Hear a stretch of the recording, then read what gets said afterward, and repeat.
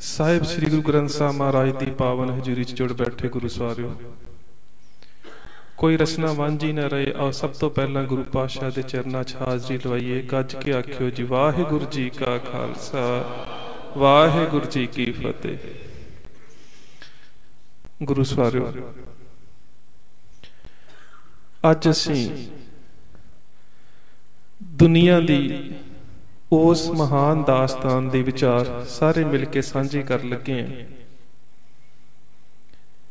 ਜਿਸ ਦੇ ਮੁਕਾਬਲੇ ਦੇ ਵਿੱਚ ਦੁਨੀਆ ਦਾ ਕੋਈ ਵੀ ਇਤਿਹਾਸ, ਦੁਨੀਆ ਦੀ ਕਿਸੇ ਕੌਮੀਅਤ ਦਾ ਇਤਿਹਾਸ, ਕਿਸੇ ਧਰਮ ਦਾ ਇਤਿਹਾਸ ਜਾਂ ਕੋਈ ਧਰਮ ਜੁੱਧ ਆਪਣਾ ਵਜੂਦ ਨਹੀਂ ਰੱਖਦਾ। ਉਹ ਹੈ ਚਮਕੌਰ ਦੀ ਗੜੀ ਦਾ ਸਾਕਾ, ਜਿਹੜੀ ਮੈਂ ਕੱਲ ਤੁਹਾਡੇ ਨਾਲ ਗੱਲ ਸਾਂਝੀ ਕੀਤੀ ਸੀ ਕਿ ਇਤਿਹਾਸ ਦੇ ਵਿੱਚ ਤਿੰਨ ਚਾਰ ਅਸਾਮੀਆਂ ਜੰਗਾਂ ਦਾ ਜ਼ਿਕਰ ਆਉਂਦਾ ਹੈ। ਜਿਨ੍ਹਾਂ ਦੇ ਵਿੱਚ ਚਮਕੌਰ ਦੀ ਗੜੀ ਗੁਰਦਾਸ ਨੰਗਲ ਦੀ ਗੜੀ ਔਰ ਸਾਰਾ ਗੜੀ। ਇਹ ਗੱਲ ਵੱਖਰੀ ਹੈ ਕਿ ਕੁਝ ਸਮੇਂ ਤੱਕ ਫਰਾਂਸ ਦੇ ਸਕੂਲਾਂ ਦੇ ਵਿੱਚ ਸਾਰਾ ਗੜੀ ਦਾ ਸਾਕਾ ਪੜਾਇਆ ਜਾਂਦਾ ਰਿਹਾ ਤੇ ਅਜੇ ਵੀ ਕੁਝ ਥਾਵਾਂ ਤੇ ਪੜਾਇਆ ਜਾ ਰਿਹਾ। ਪਰ ਤਰਾਸਦੀ ਦੀ ਗੱਲ ਹੈ ਕਿ ਪੰਜਾਬ ਦੇ ਵਿੱਚ ਸਿੱਖ ਬੱਚਿਆਂ ਨੂੰ ਚਮਕੌਰ ਦੀ ਗੜੀ ਦੇ ਬਾਰੇ ਕੁਝ ਨਹੀਂ ਪੜਾਇਆ ਜਾਂਦਾ। ਇਸ ਸਾਰੇ ਸਾਕੇ ਦੇ ਬਾਰੇ ਵਿਚਾਰ ਸਾਂਝੇ ਕਰਨ ਦੇ ਵਾਸਤੇ ਗੁਰੂ ਸਵਾਰਿਓ ਅੱਜ ਅਸੀਂ ਇਕੱਤਰ ਹੋਏ ਹਾਂ ਕਿ ਉਹ ਸ਼ਹਾਦਤਾਂ ਕੈਸੀਆਂ ਸੀ? ਉਹ ਸ਼ਹਾਦਤਾਂ ਕਿਵੇਂ ਹੋਈਆਂ?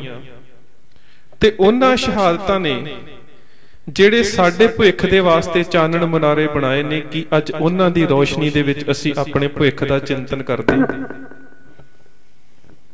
ਅਨੰਦਪੁਰ ਸਾਹਿਬ ਦੀ ਧਰਤੀ ਨੂੰ ਘੇਰਾ ਪਿਆ। ਇੱਕ ਲੰਮਾ ਸਮਾਂ ਬੀਤ ਗਿਆ। ਔਰ ਘੇਰਾ ਪਾਉਣ ਵਾਲੀ ਫੌਜ ਦੀ ਗਿਣਤੀ ਇੰਨੀ ਜ਼ਿਆਦਾ ਸੀਗੀ ਕਿ ਇੱਕ ਸਵਾ ਸਿੱਖ ਤਵਾਰੀਖ ਦੇ ਵਿੱਚ ਜ਼ਿਕਰ ਹੈ ਗਿਣਤੀ ਦੇ ਬਾਰੇ। ਉਹ ਕਹਿੰਦੇ ਨੇ ਕਿ ਗਿਣ ਕੇ ਗਿਣਤੀ ਨੂੰ ਬਿਆਨ ਨਹੀਂ ਕੀਤਾ ਜਾ ਸਕਦਾ।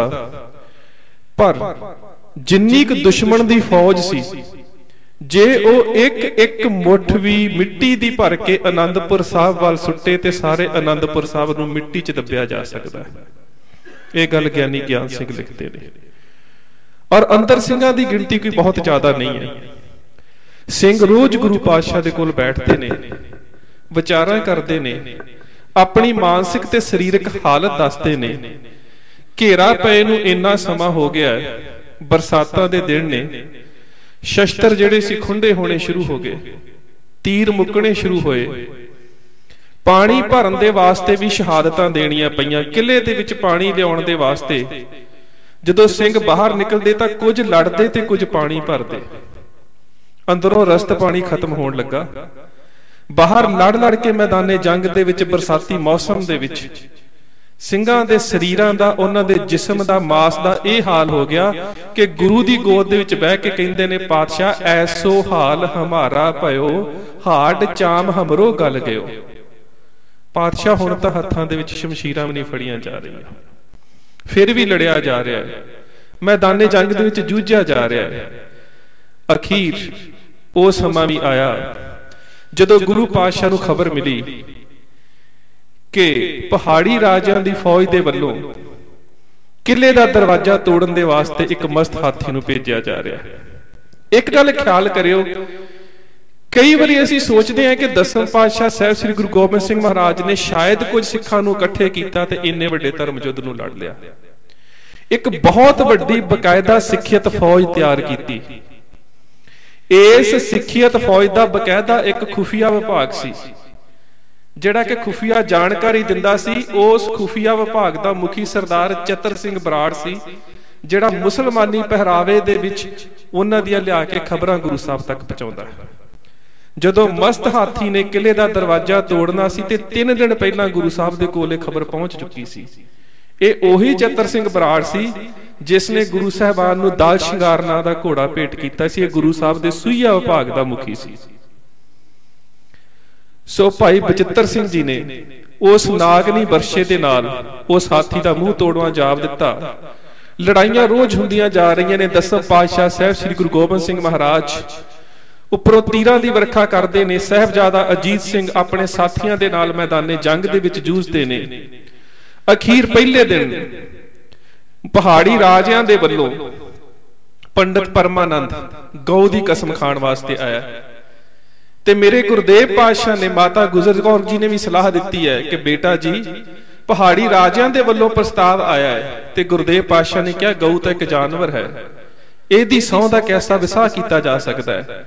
ਪਰ ਫਿਰ ਵੀ ਉਹਨਾਂ ਧਰਮੀਆਂ ਦੇ ਧਰਮ ਦੇ ਪਿੱਛੇ ਛੁਪੇ ਕਪਟ ਨੂੰ ਵਿਖਾਉਣ ਦੇ ਵਾਸਤੇ ਗੁਰਦੇਵ ਪਾਤਸ਼ਾਹ ਨੇ ਬੇਕਾਰ ਸਮਾਨ ਦੇ ਭਰੇ ਹੋਏ ਕੁਝ ਗੱਡੇ ਕਿਲੇ ਤੋਂ ਬਾਹਰ ਕੱਢੇ ਤੇ ਉਹਨਾਂ ਪਹਾੜੀ ਰਾਜਿਆਂ ਨੇ ਹਮਲਾ ਕਰ ਦਿੱਤਾ। ਕੁਝ ਸਿੰਘ ਸੀ ਗੱਡਿਆਂ ਦੇ ਉੱਪਰ, ਉਹਨਾਂ ਨੂੰ ਸ਼ਹੀਦ ਕਰ ਦਿੱਤਾ। ਤੇ ਗੁਰੂ ਪਾਤਸ਼ਾਹ ਨੇ ਦੱਸ ਦਿੱਤਾ ਸਿੱਖਾਂ ਨੂੰ ਕਿ ਇਹ ਇਹਨਾਂ ਪਹਾੜੀ ਰਾਜਿਆਂ ਦੇ ਮਨ ਦੇ ਵਿੱਚ ਛੁਪਿਆ ਹੋਇਆ ਕਪਟ ਹੈ, ਕਿਸ ਤਰ੍ਹਾਂ ਦੇ ਨਾਲ ਇਹ ਧਰਮ ਦੀਆਂ ਸੌਹਾਂ ਖਾ ਕੇ ਧਰਮ ਤੋਂ, ਆਪਣੇ ਧਰਮ ਤੋਂ, ਧਾਰਮਿਕ ਇਕਰਾਰ ਤੋਂ, ਆਪਣੀਆਂ ਸੌਹਾਂ ਤੋਂ, ਆਪਣੀਆਂ ਸੁਗੰਧਾਂ ਤੋਂ ਭੱਜ ਰਹੇ ਨੇ। ਫੌਜ ਦੀ ਗਿਣਤੀ ਬਾਹਰੋਂ ਲਗਾਤਾਰ ਵੱਧਦੀ ਰਹੀ। ਬਾਹਰੋਂ ਰੋਪੜ ਵਾਲੀ ਸਾਈਡ ਤੋਂ ਹੋਰ ਸਾਈਡਾਂ ਤੋਂ ਫੌਜ ਦੀ ਗਿਣਤੀ ਲਗਾਤਾਰ ਵੱਧਦੀ ਜਾ ਰਹੀ ਹੈ। ਉਸ ਤੋਂ ਬਾਅਦ ਸਮਾਣੇ ਦਾ ਰਹਿਣ ਵਾਲਾ ਕਾਜ਼ੀ ਵਲੀ ਹਸਨ ਗੁਰੂ ਸਾਹਿਬ ਦੇ ਕੋਲ ਔਰੰਗਜ਼ੇਬ ਦਾ ਇੱਕ ਪੈਗਾਮ ਲੈ ਕੇ ਆਉਂਦਾ ਹੈ। ਇੱਕ ਕਸਮ ਹੈ, ਉਸ ਦੇ ਨਾਲ ਕੁਰਾਨ ਹੈ, ਉਸ ਦੇ ਉੱਪਰ ਲਿਖਿਆ ਹੋਇਆ ਹੈ ਕਿ ਤਸ਼ਰੀਫ ਦਰ ਕਸਬਾ ਕਾਂਗੜ ਕੁਨਦ ਵਜਾ ਪਸ ਮੁਲਾਕਾਤ ਬਾਹਮ ਸ਼ਬਦ ਪਾਤਸ਼ਾਹ, ਤੁਸੀਂ ਆਨੰਦਪੁਰ ਸਾਹਿਬ ਦੀ ਧਰਤੀ ਨੂੰ ਛੱਡ ਕੇ ਦੀਨਾ ਕਾਂਗੜ ਦੇ ਇਲਾਕੇ ਵੱਲ ਆ ਜਾਓ। ਅਸੀਂ ਤੁਹਾਨੂੰ ਸੁਰੱਖਿਅਤ ਰਸਤਾ ਦਵਾਂਗੇ ਤੇ ਤੁਹਾਡੇ ਉੱਪਰ ਹਮਲਾ ਨਹੀਂ ਕੀਤਾ ਜਾਵੇਗਾ। ਗੁਰੂ ਪਾਤਸ਼ਾਹ ਨੇ ਉਸ ਦੇ ਧਰਮ ਦੇ ਕੀਤੇ ਕੌਲ ਤੇ ਕਰਾਰ ਦੀ ਇੱਜ਼ਤ ਰੱਖਦਿਆਂ ਸਿੰਘਾਂ ਦੇ ਨਾਲ ਸਲਾਹ مشورہ ਕੀਤਾ ਸਾਰੇ ਸਿੰਘਾਂ ਨੂੰ ਇਕੱਠਿਆਂ ਕੀਤਾ ਕਿਲੇ ਦੇ ਵਿੱਚ ਬੈਠ ਕੇ ਸਲਾਹ مشورہ ਕੀਤਾ ਗਿਆ ਬਹੁਤਾਤ ਸਿੰਘਾਂ ਦੀ رائے ਸੀ ਕਿ ਕਿਲਾ ਛੱਡ ਦਿੱਤਾ ਜਾਵੇ ਅਖੀਰ ਰਾਤ ਨੂੰ ਕਿਲਾ ਛੱਡਣ ਦਾ ਫੈਸਲਾ ਹੋਇਆ ਸਾਹਿਬ ਸ੍ਰੀ ਗੁਰੂ ਗੋਬਿੰਦ ਸਿੰਘ ਮਹਾਰਾਜ ਉਸ ਰਾਤ ਸਭ ਤੋਂ ਪਹਿਲਾਂ ਉਸ ਅਸਥਾਨ ਤੇ ਗਏ ਜਿੱਥੇ ਪਿਤਾ ਗੁਰੂ ਗੁਰੂ ਤੇਗ ਬਹਾਦਰ ਸਾਹਿਬ ਦੇ ਸੀਸ ਦਾ ਸਤਿਕਾਰ ਕੀਤਾ ਸੀ। ਉਸ ਸੰਸਕਾਰ ਵਾਲੀ ਸੀਸ ਗੰਜ ਵਾਲੀ ਜਗ੍ਹਾ ਤੇ ਜਾ ਕੇ ਗੁਰੂ ਪਾਤਸ਼ਾਹ ਨੇ ਉਸ ਜਗ੍ਹਾ ਦੀ ਸੇਵਾ ਭਾਈ ਗੁਰਬਖਸ਼ ਸਿੰਘ ਨੂੰ ਸੌਂਪੀ ਹੈ, ਜਿਸ ਨੂੰ ਅਸੀਂ ਗੁਰਬਖਸ਼ ਰਾਏ ਉਦਾਸੀ ਦੇ ਨਾਂ ਦੇ ਨਾਲ ਵੀ ਜਾਣਦੇ ਹਾਂ। ਖਿਆਲ ਕਰਿਓ, ਇੱਕ ਕਵੀ ਨੇ ਬੜਾ ਸੁੰਦਰ ਬਿਆਨ ਕੀਤਾ ਹੈ। ਕਹਿੰਦਾ, ਗੁਰਦੇਵ ਪਾਤਸ਼ਾਹ ਆਪਣੇ ਪਿਤਾ ਦੇ ਉਸ ਸੀਸ ਗੰਜ ਦੇ ਕੋਲ ਖੜੇ ਨੇ। ਤੇ ਕਹਿੰਦਾ ਇੰਜ ਲੱਗਦਾ ਹੈ, ਜਿਵੇਂ ਅਰਦਾਸ ਕਰ ਰਹੇ ਹੋਣ ਕਿ ਗੁਰਤੇਗ ਬਹਾਦਰ ਪਾਤਸ਼ਾਹ ਜੀਓ। ਜਿਸ ਤੇਗ ਨੂੰ ਤੁਸੀਂ ਫਲਾਦੀ ਧਾਰ ਬਖਸ਼ਣ ਦੇ ਵਾਸਤੇ ਸ਼ਹਾਦਤ ਦਿੱਤੀ ਹੈ, ਅੱਜ ਉਸ ਤੇਗ ਦੇ ਜ਼ਹਰ ਵਿਖਾਉਣ ਦਾ ਮੌਕਾ ਆਇਆ। ਹੈ ਪਾਤਸ਼ਾਹ, ਕਿਰਪਾ ਕਰਿਓ ਮੈਂ ਤੇ ਤੁਹਾਡੇ ਸਿੰਘ ਤੇ ਤੁਹਾਡੇ ਪੁੱਤਰੇ, ਮੈਦਾਨੇ ਜੰਗ ਦੇ ਵਿੱਚ ਤੇਗ ਦੇ ਜ਼ਹਰ ਵਿਖਾਉਂਦੇ ਹੋਏ ਸ਼ਹੀਦ ਹੋਣ ਕਿਉਂਕਿ ਇੱਕ ਕਵੀ ਨੇ ਬੜੀ ਸੁੰਦਰ ਗੱਲ ਲਿਖੀ ਹੈ ਮੈਂ ਬੜਾ ਹੈਰਾਨ ਹੋ ਜਾਂਦਾ। ਉਸ ਮਨੁੱਖ ਦੀ ਕਾਵਕ ਅਡਾਰੀ ਤੋਂ ਕਿ ਜਦੋਂ ਗੁਰਤੇਗ ਬਹਾਦਰ ਸਾਹਿਬ ਨੂੰ ਸ਼ਹੀਦ ਕੀਤਾ ਜਾਣ ਲੱਗਾ ਹੈ ਨਾ। ਤੇ ਬਾਦਸ਼ਾਹ ਔਰੰਗਜ਼ੇਬ ਦੇ ਕਹਿਣ ਦੇ ਉੱਪਰ ਕਾਜ਼ੀ ਸੈਯਦ ਜਲਾਲੂਦੀਨ ਤਲਵਾਰ ਕੱਢ ਕੇ ਖੜਾ ਹੈ। ਤੇ ਮੇਰੇ ਗੁਰਦੇਵ ਪਾਤਸ਼ਾਹ ਨੇ ਇੱਕ ਗੱਲ ਕਹੀ ਸੀ ਕਿਹਾ ਸੀ ਮੈਂ ਹਾਂ ਤੇਗ ਤੇ ਪਰਖ ਲੈ ਤੇਗ ਤੂੰ ਵੀ। ਇੱਕ ਦੋ ਨਹੀਂ ਪਰਖ ਲੈ 100 ਤੇਗ। ਮੈਨੂੰ ਤਾਂ ਤੇਗ ਬਹਾਦਰ ਦਾ ਲਕਬ ਮਿਲਿਆ। ਮੇਰਾ ਕੁਝ ਨਹੀਂ ਸਕਦੀਆਂ ਖੋਹ ਤੇਗ। ਮੈਂ ਤਾਂ ਜੰਮਦਿਆਂ ਤੇਗਾਂ ਦੀ ਸ਼ਾਮ ਆਣੀ। ਮੇਰੇ ਪਿਓ ਨੇ ਪਹਿਨੀਆਂ ਦੋ ਤੇਗਾਂ। ਮੇਰੇ ਪਿਤਾ ਦੀ ਅਣਖ ਬਹਾਦਰੀ ਤੇ। ਰਿਆ ਪਰਖ ਦਾ ਤੇਰਾ ਪਿਓ ਤੇਗਾ। ਹੁਣ ਵੇਖੀ ਆਉਂਦੇ ਭਵਿੱਖ ਅੰਦਰ ਮੇਰੇ ਪੁੱਤ ਨੇ ਵਾਉਣੀਆਂ ਉਹ ਤੇਗਾ। ਉਹਦੀ ਤੇਗ ਚੋਂ ਜਿਹੜੀ ਤੇਗ ਨਿਕਲੂ ਲੱਖਾਂ ਲਊਗੀ ਤੇਰੀਆਂ ਖੋਹ ਤੇਗਾ। ਉਸ ਗੁਰਦੇਵ ਪਾਤਸ਼ਾਹ ਨਵੇਂ ਪਾਤਸ਼ਾਹ ਦੇ ਸ਼ਹੀਦੀ ਸਥਾਨ ਦੇ ਉੱਪਰ।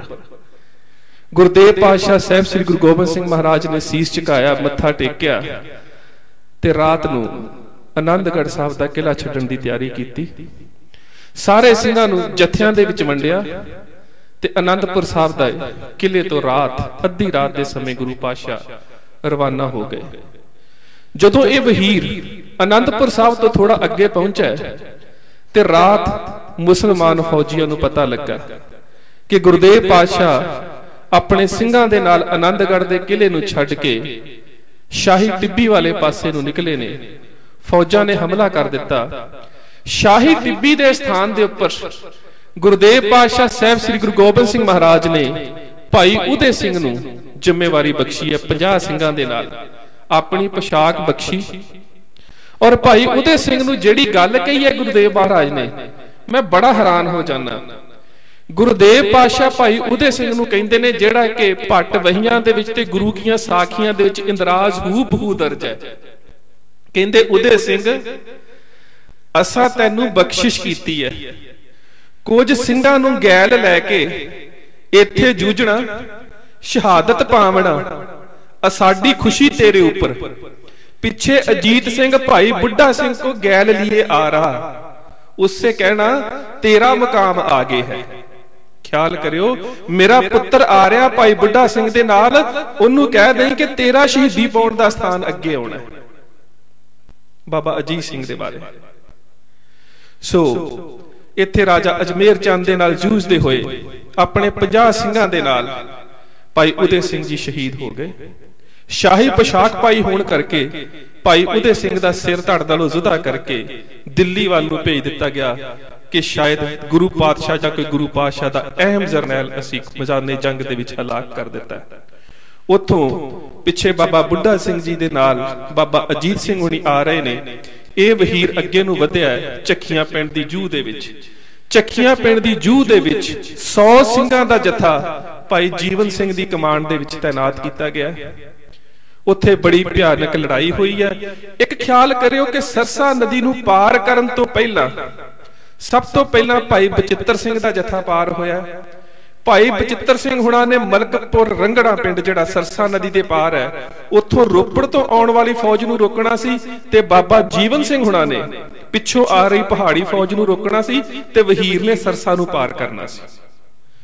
ਸੋ ਚੱਖੀਆਂ ਪਿੰਡ ਦੀ ਜੂਹ ਦੇ ਵਿੱਚ ਬਾਬਾ ਜੀਵਨ ਸਿੰਘ ਪਿੱਛੋਂ ਆ ਰਹੀ ਫੌਜ ਨੂੰ ਰੋਕਦੇ ਹੋਏ ਕੋਈ ਜੇ ਸਮੇਂ ਦਾ ਹਿਸਾਬ ਲਾਇਆ ਜਾਏ ਤੇ 240 ਮਿੰਟ ਉੱਥੇ ਜੂਝ ਕੇ ਸ਼ਹੀਦ ਹੋ ਗਏ। ਬੜਾ ਭਾਰੀ ਮੁਕਾਬਲਾ ਹੋਇਆ। ਮਲਕਪੁਰ ਰੰਗੜਾ ਤੋਂ ਪਾਰ ਭਾਈ ਬਚਿੱਤਰ ਸਿੰਘ ਆਪਣੇ 100 ਸਾਥੀਆਂ ਦੇ ਨਾਲ ਰੋਪੜ ਤੋਂ ਆ ਰਹੀ ਫੌਜ ਦੇ ਨਾਲ ਜੂਝ ਰਹੇ ਨੇ।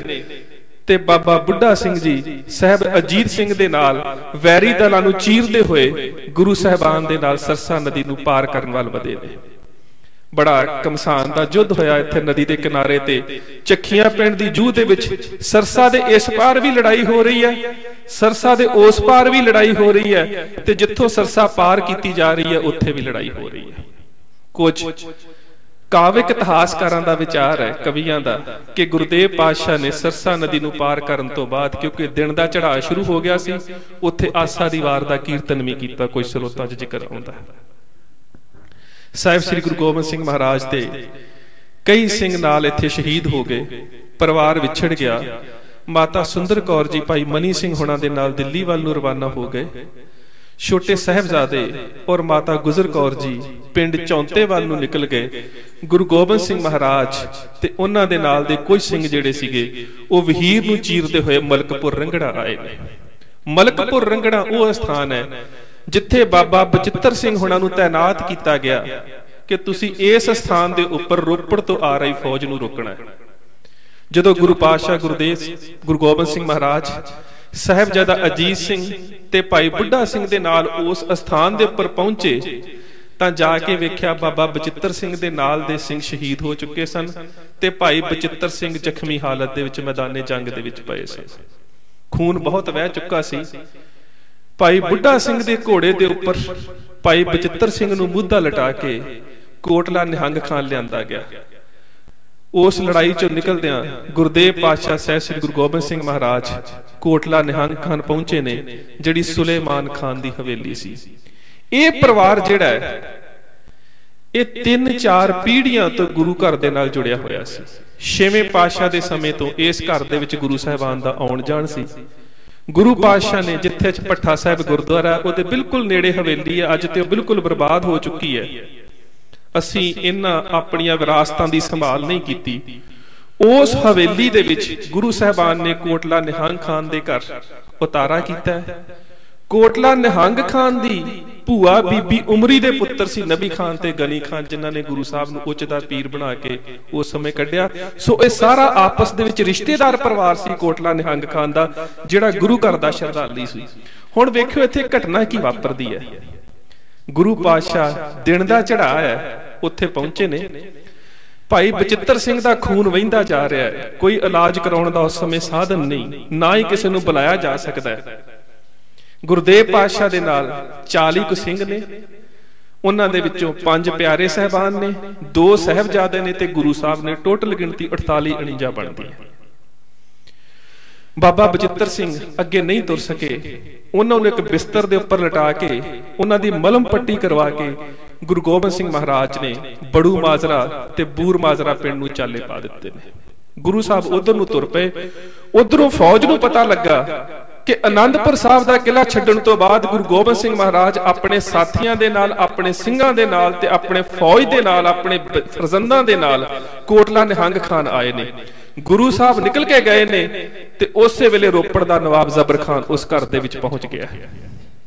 ਜ਼ਬਰ ਖਾਨ ਜਦੋਂ ਉਸ ਘਰ ਦੇ ਵਿੱਚ ਪਹੁੰਚਿਆ, ਤਾਂ ਉਸ ਨੇ ਨਿਹੰਗ ਖਾਨ ਜਿਹੜਾ ਸੀ ਉਸ ਨੂੰ ਪੁੱਛਿਆ ਕਿ ਤੁਹਾਡੇ ਘਰ ਦੇ ਵਿੱਚ ਹਕੂਮਤ ਦੇ ਬਾਗੀ ਆਏ ਨੇ, ਉਹਨਾਂ ਨੂੰ ਗ੍ਰਿਫਤਾਰ ਕਰਾਓ।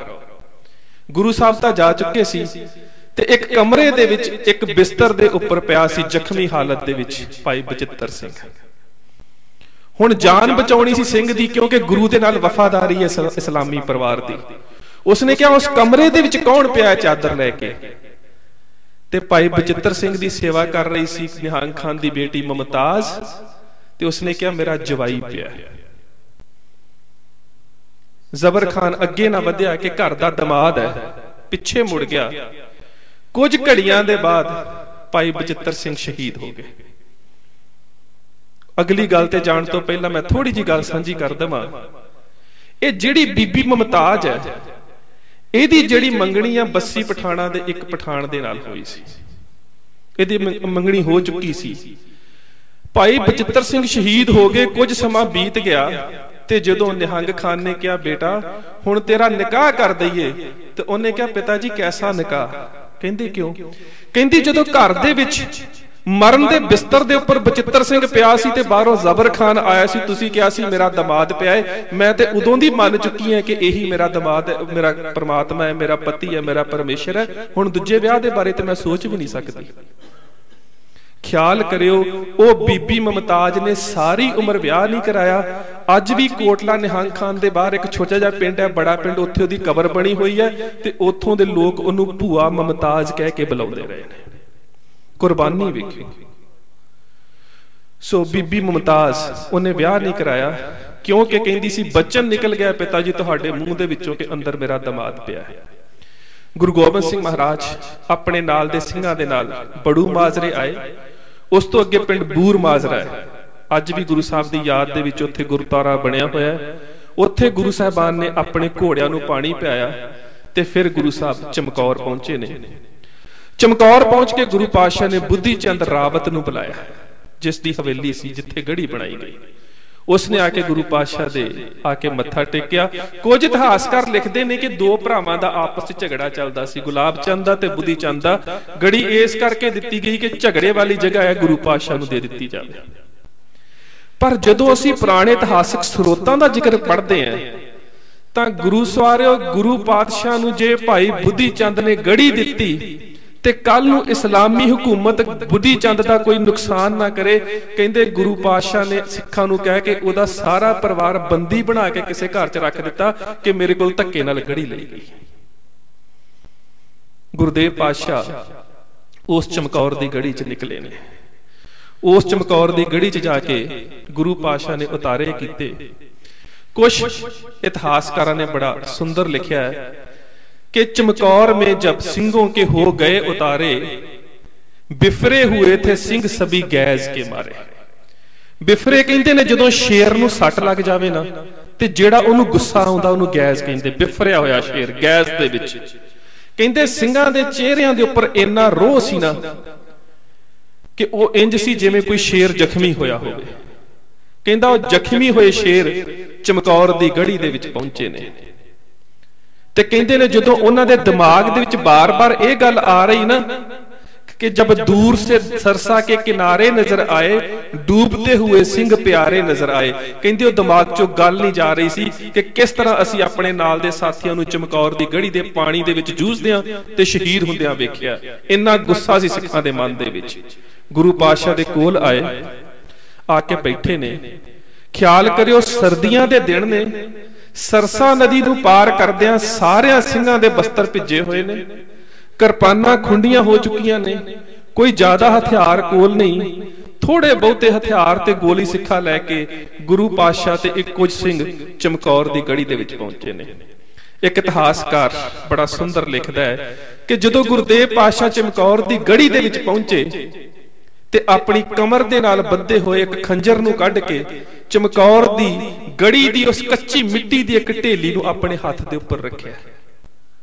ਤੇ ਉਹਨੂੰ ਫੂਕ ਮਾਰ ਕੇ ਹਵਾ ਦੇ ਵਿੱਚ ਉਡਾ ਦਿੱਤਾ। ਨੇੜੇ ਖੜੇ ਸੀ ਭਾਈ ਦਿਆਲ ਸਿੰਘ। ਕਹਿੰਦੇ, ਪਾਤਸ਼ਾਹ, ਇਹ ਕੀ? ਇਹ ਕੀ ਕੌਤਕ ਹੋਇਆ? ਅਲਾ ਯਾਰ ਖਾਂ ਜੋਗੀ ਲਿਖਦਾ ਹੈ, ਗੁਰਦੇਵ ਪਾਤਸ਼ਾਹ ਨੇ ਕਿਹਾ, ਜਿਸ ਜਾਂ ਪੇ ਹਮ ਕਹਤੇ ਥੇ ਆਨਾ ਜੇ ਬਹੀ ਹੈ। ਮੈਂ ਜਿਹੜਾ ਮਕਾਮ ਤੁਹਾਨੂੰ ਦੱਸਿਆ ਸੀ ਨਾ ਕਿ ਜਿਸ ਮਕਾਮ ਤੇ ਅਸੀਂ ਪਹੁੰਚਣਾ ਹੈ ਇਹ ਉਹੀ ਹੈ। ਜਿਸ ਜਗ੍ਹਾ पे ਬੱਚੋਂ ਕੋ ਕਟਾਣਾ ਇਹ ਵਹੀ ਹੈ। ਜਿੱਥੇ ਕੱਲ ਮੇਰੀਆਂ ਅੱਖਾਂ ਦੇ ਸਾਹਮਣੇ ਮੇਰੇ ਫਰਜ਼ੰਦ ਸ਼ਹੀਦ ਹੋਣਗੇ। ਇਹ ਉਹੀ ਜਗ੍ਹਾ ਹੈ। ਮਿੱਟੀ ਜੇ ਕਹਿ ਦੇਤੀ ਹੈ ਠਿਕਾਣਾ ਜੇ ਗਈ ਹੈ। ਮੈਂ ਤਾਂ ਇਸ ਮਿੱਟੀ ਦੇ ਨਾਲ ਇਸ ਚਮਕੌਰ ਦੀ ਗੜੀ ਦੀ ਅਜ਼ਮਤ ਨੂੰ ਸਲਾਮੀ ਦਿੱਤੀ ਹੈ ਕਿ ਇੱਥੇ ਦੁਨੀਆ ਦਾ ਉਹ ਜੁੱਧ ਹੋਵੇਗਾ ਜਿਹਦੀ ਮਿਸਾਲ ਦੁਨੀਆ ਦੇ ਵਿੱਚ ਕਿਤੇ ਨਹੀਂ ਹੋਵੇਗੀ। ਕੱਲ ਲੁੱਟ ਕੇ ਜਿਸ ਜਗ੍ਹਾ ਸੇ ਜਾਣਾ ਵੇ ਵਹੀ ਹੈ। ਕੱਲ ਮੈਂ ਜਦੋਂ ਤੁਹਾਨੂੰ ਤੇ ਆਪਣੇ ਬੱਚਿਆਂ ਨੂੰ ਕੁਰਬਾਨ ਕਰਕੇ ਇਸ ਥਾਂ ਤੋਂ ਚਲੇ ਜਾਣਾ, ਇਹ ਉਹੀ ਸਥਾਨ ਹੈ। ਸ਼ਾਮ ਪੈਣੀ ਸ਼ੁਰੂ ਹੋ ਗਈ। ਉਧਰੋਂ ਫੌਜ ਨੂੰ ਪਤਾ ਲੱਗ ਗਿਆ ਕਿ ਗੁਰੂ ਗੋਬਿੰਦ ਸਿੰਘ ਮਹਾਰਾਜ ਇਸ ਬੁੱਧੀ ਚੰਦ ਰਾਵਤ ਦੀ ਗੜੀ ਦੇ ਵਿੱਚ ਟਿਕੇ ਹੋਏ ਨੇ। ਬਾਹਰੋਂ ਫੌਜੀਆਂ ਦੀ ਗਿਣਤੀ, ਇਸਲਾਮੀ ਸਿਪਾਹੀਆਂ ਦੀ ਗਿਣਤੀ ਵੱਧਦੀ ਜਾ ਰਹੀ ਹੈ ਔਰ ਗੁਰੂ ਪਾਤਸ਼ਾਹ ਸਿੰਘਾਂ ਨੂੰ ਜੁੱਧ ਨੀਤੀ ਸਮਝਾ ਰਹੇ ਨੇ। ਬਾਹਰ ਫੌਜ ਦੀ ਗਿਣਤੀ ਵੱਧ ਗਈ ਉਧਰੋਂ ਹਨੇਰਾ ਹੋ ਗਿਆ ਤੇ ਸਿੰਘ ਪਤਾ ਕੀ ਕਹਿ ਰਹੇ ਨੇ ਪਾਤਸ਼ਾਹ गर दी दिए इजाजत हमें रन की मट्टी तक उड़ा सकते हैं दुश्मन के चमन की ਪਾਤਸ਼ਾਹ ਦੁਸ਼ਮਣ ਸੁੱਤਾ ਪਿਆ ਹੈ ਜੇ ਕਿਥੇ ਤੁਸੀਂ ਸਾਨੂੰ ਮੈਦਾਨੇ ਜੰਗ 'ਚ ਜੂਝਣ ਦੀ ਹੁਣ ਰਾਤ ਇਜਾਜ਼ਤ ਦੇ ਦੇਵੋ ਨਾ ਤੇ ਅਸੀਂ ਤੇ ਉਹਨਾਂ ਦੀ ਮਿੱਟੀ ਵੀ ਨਹੀਂ ਰਹਿਣ ਦਵਾਂਗੇ। ਤੇ ਮੇਰੇ ਗੁਰਦੇਵ ਪਾਤਸ਼ਾਹ ਕਹਿੰਦੇ ਨਹੀਂ ਭਾਵੇਂ ਗਿਣਤੀ 'ਚ ਥੋੜੇ ਆ ਪਰ ਲੜਾਂਗੇ ਮੈਦਾਨੇ ਜੰਗ ਦੇ ਵਿੱਚ ਸੁੱਤੇ ਪਏ ਦੁਸ਼ਮਣ ਤੇ ਵਾਰ ਨਹੀਂ ਕਰਨਾ। ਖਿਆਲ ਕਰਿਓ ਮੱਟੀ ਤੱਕ ਉਡਾ ਸਕਤੇ ਹੈ ਦੁਸ਼ਮਨ ਕੇ ਚਮਨ ਕੀ। ਕਹਿੰਦੇ ਨਹੀਂ ਸੁੱਤੇ ਦੁਸ਼ਮਣ ਦੇ ਉੱਪਰ ਵਾਰ ਨਹੀਂ ਕਰਨਾ। ਗੁਰਦੇਵ ਪਾਤਸ਼ਾਹ ਨੇ ਦੋ ਸਿੰਘਾਂ ਨੂੰ ਭਾਈ ਮਦਨ ਸਿੰਘ ਤੇ ਭਾਈ ਕਾਠਾ ਸਿੰਘ ਨੂੰ ਗੜੀ ਦੇ ਦਰਵਾਜ਼ੇ ਦੇ ਉੱਪਰ ਖੜਾ ਕੀਤਾ।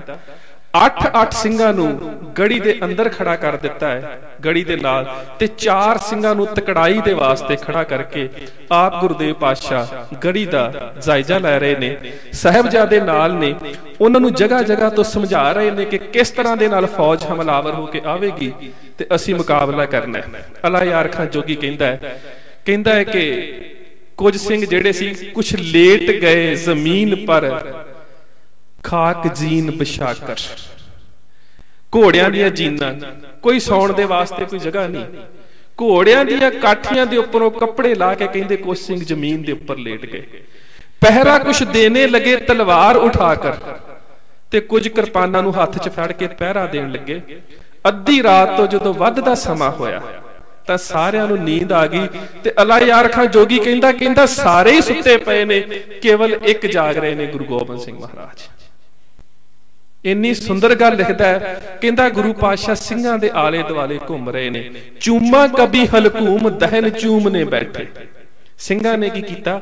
ਆਪਣੀਆਂ ਭਿੱਜੀਆਂ ਹੋਈਆਂ ਦਸਤਾਰਾਂ ਤੇ ਭਿੱਜੇ ਹੋਏ ਕੱਪੜਿਆਂ ਦਾ ਇੱਕ ਗਦੇਲਾ ਜਿਹਾ ਬਣਾ ਕੇ ਸਤਿਗੁਰੂ ਦੇ ਵਾਸਤੇ ਬਹਿਣ ਲਈ ਇੱਕ ਸਿੰਘਾਸਨ ਜਿਹਾ ਤਿਆਰ ਕਰ ਦਿੱਤਾ। ਤੇ ਕੁਝ ਦਸਤਾਰਾਂ ਨੂੰ ਥੱਲੇ ਵਿਛਾ ਕੇ ਸਹਿਬਜ਼ਾਦਿਆਂ ਦੇ ਸੌਣ ਦਾ ਇੰਤਜ਼ਾਮ ਕੀਤਾ। ਪਰ ਜੋਗੀ ਕਹਿੰਦਾ ਕਿ ਗੁਰੂ ਪਾਤਸ਼ਾਹ ਸੁੱਤੇ ਨਹੀਂ। ਸਾਰੀ ਰਾਤ ਘੁੰਮ ਰਹੇ ਨੇ, ਸਿੰਘਾਂ ਦੇ ਦਸਤਾਰੇ ਢਿੱਲੇ ਹੋ ਚੁੱਕੇ ਨੇ ਮੈਦਾਨੇ ਜੰਗ ਦੇ ਵਿੱਚ। ਕਦੀ ਉਹਨਾਂ ਨੂੰ ਠੀਕ ਕਰਦੇ ਨੇ। ਕਦੀ ਉਹਨਾਂ ਦੇ ਚਿਹਰਿਆਂ ਨੂੰ ਚੁੰਮਦੇ ਨੇ। ਸਾਰਾ ਦਿਨ ਬੋਲੇ ਸੋ ਨਿਹਾਲ ਦੇ ਤਕੜਾਈ ਦੇ ਨਾਰੇ ਲਾ ਲਾ ਕੇ ਸਿੰਘਾਂ ਦੇ ਗਲੇ ਥੱਕ ਚੁੱਕੇ ਨੇ। ਕਹਿੰਦਾ, ਚੂਮਾ ਕਬੀ ਹਲਕੂਮ, ਦਹਨ ਚੂਮਨੇ ਬੈਠੇ। ਪਾਇੰਤੀ ਆਏ ਤੋਂ ਕਦਮ ਚੂਮਨੇ ਬੈਠੇ, ਕਦੀ ਉਹਨਾਂ ਦੇ ਪੈਰਾਂ ਵੱਲ ਜਾ ਕੇ ਖੜੇ ਹੁੰਦੇ ਨੇ ਗੁਰੂ ਪਾਤਸ਼ਾਹ ਤੇ ਕਦੀ ਉਹਨਾਂ ਦੇ ਸਿੰਘਾਂ ਦੇ ਚਿਹਰਿਆਂ ਨੂੰ ਚੁੰਮਦੇ ਨੇ। ਦਿਨ ਦਾ ਝੜਾ ਹੁੰਦਾ ਜਾ ਰਿਹਾ ਹੈ।